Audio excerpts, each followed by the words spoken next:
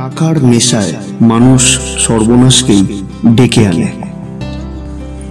টাকাটা তো ছল, ওর ছলনাতে ভুলেই তো মানুষ অসম্ভবের দিকে দৌড়ায়।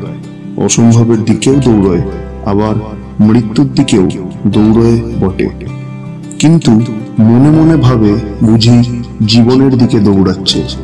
জীবনের ছদ্মবেশে মৃত্যুই মানুষকে দূর থেকে হাত হাতছানি দেয়। এখানে দেশের নেতারা আইন ভেঙে আইনের জয়গান গায়। আমার ল মিনিস্টার জানে না যে আইনের মতো বেআইনি জিনিস ইন্ডিয়াতে আর দুটি নেই। আইন ভাঙবার জন্যই আমি আজ হয়েছি দেশের চিফ মিনিস্টার আবার চিফ মিনিস্টার হওয়ার জন্যই অন্যরা এখন আইন ভাঙছে।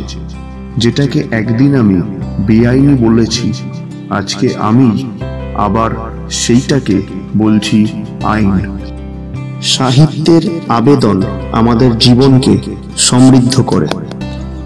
গল্প যতক্ষণ পড়ি, ততক্ষণই তার রস।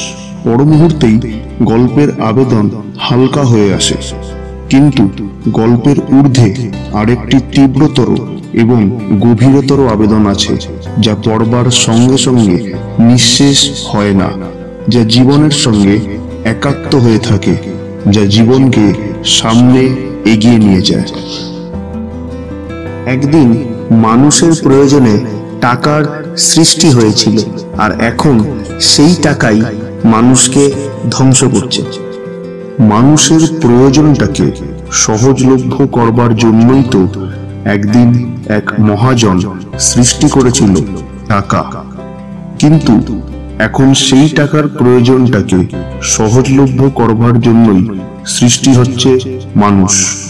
এককালে মানুষ মহাজনদের কাছে গিয়ে বলতো, আমাকে টাকা দাও।